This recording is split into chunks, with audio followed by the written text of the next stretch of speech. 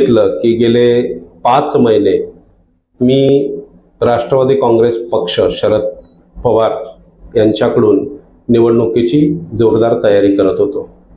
अचानक पक्षाने निर्णय केला आणि उमेदवार बाहेरच्या पक्षातून आयात केला गेला.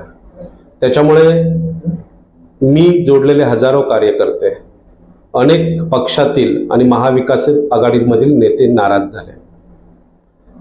अनेकांची इच्छा होती की मी लढावं आणि त्याच्यासाठी मी जनतेचा कौल घेतला. मागच्या आठवड्यात शनिवारी मी एक संवाद मेळावा घेतला विष्णुदास भावे सभागृहात आणि तिथे हजारोंच्या संख्येने समाजातील प्रत्येक घटक जमा झाला. आणि त्यांना मी विचारलं आपण लढायचं का? तर त्यांनी सांगितलं जोरात लढायचं. विष्णुदास सभागृहामध्ये बसायला जागा नव्हती इतकी लोक. फक्त सोळा तासा अगोदर दिलेल्या आमंत्रणावरून आलेली होती.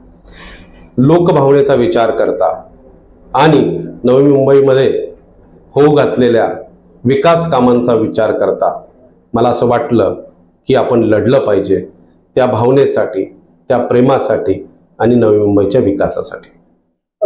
दोन आजी आणि माझी आमदारांवर लढत आहे. काय एकत्रित स्थिती आहे? किती कॉन्फिडेंट आहे? कशी लढाई?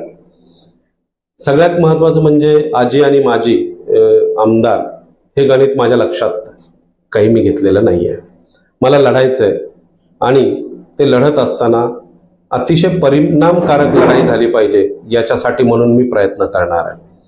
माझं सामाजिक काम पाहता मी चळवळीतला माणूस आहे आपल्या सगळ्यांना माहिती आहे. मी अनेक वर्ष चळवळीत आहे वीस वर्ष झाली मी चळवळीमध्ये आहे. त्याच्यामुळे मी चळवळीत असल्यामुळे लढाई हा माझ्या दैनंदिन जीवनाचा भाग आहे. मग तो आजी आणि माजी आमदाराबरोबर जरी ती लढाई असली तरीही ती तितक्याच निकराने लढायचं असं मी आणि माझ्या कार्यकर्त्यांनी ठरवलेलं आहे. पक्षाकडून बघा ज्येष्ठ मंडळींचं निश्चितपणे माझ्यावर प्रेम आहे आणि त्या प्रेमापोटी त्यांनी मला विचारणा केली होती की आपण उमेदवारी मागे घ्या. परंतु मी त्यांना विनम्रपणे सांगितलं की मी तयारी करून बसलोय. औपचारिकताच फक्त राहिली होती आणि आता मला माघार घेता येणार नाही.